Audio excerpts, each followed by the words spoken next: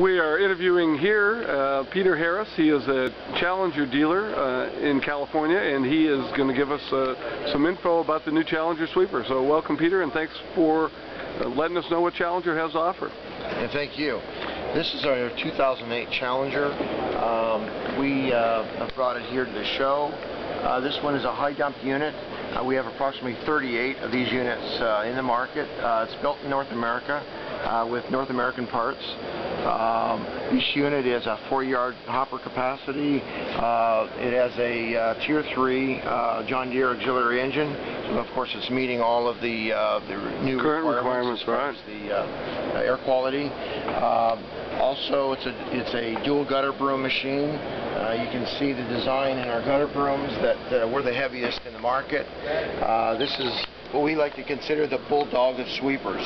It uh, you're going to get more for your buck as far as uh, the Challenger sweeper. Mm-hmm. Um, our lift system, um, you know, is, is based in uh, in theory on um, the uh, hydraulic cylinder lifting the the body, taking all the stress, rather Mm, yeah, than the uh, the conventional wisdom of using a scissor hydraulic lift. Uh, these are just there to stabilize. So Right, that's a continuous uh, shaft hydraulic. Exact- Exactly, and uh, you know, uh, unless you're you know uh, familiar with the dump truck uh, theory, um, you know, one would look at this system and you know with some concern, but it's it's bulletproof. Mhm, This is okay. this is the way they they use dump trucks. All they. Use hydraulics dump trucks. Um, the elevator system is basically the tried and true mobile system. All right. So we don't have to talk much about that. You know, there's plenty. Well known in the marketplace. Absolutely. The uh, the main broom system uh, we feel is the heaviest in the industry as far as the supports, the design, uh, the ability. Uh, you know, it, it's going to be here today. It'll be here tomorrow as far as uh, uh, you know the uh, construction of the, the the business end of the machine. If you All right. uh, we have 200 gallons of water capacity.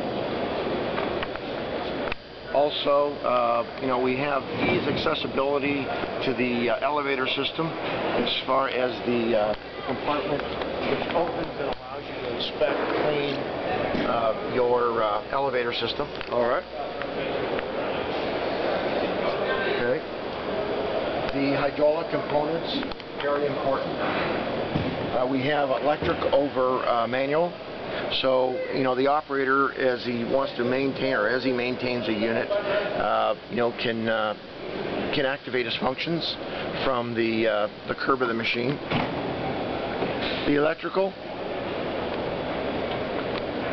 very simple, uh, very clean, uh, watertight. Uh, you know, we we have our two diodes and relays.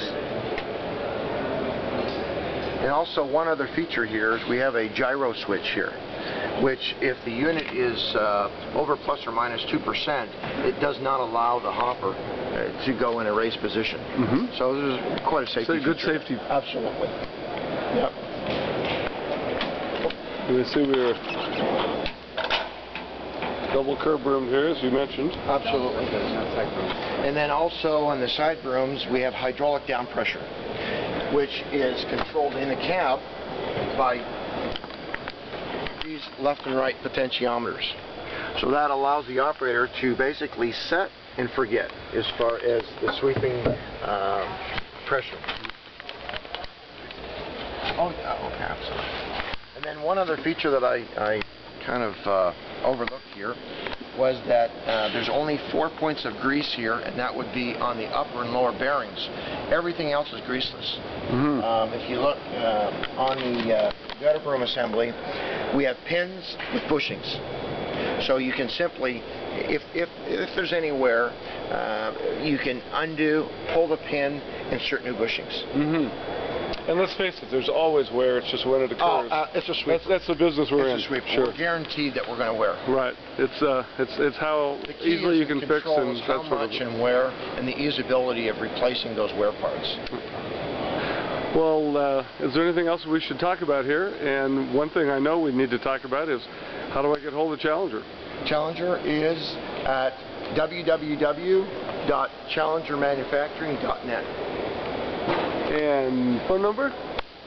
Phone number is 204 697 2227. Sorry, I forget my own phone number. Uh-huh, uh-huh. It's not like you call it very often.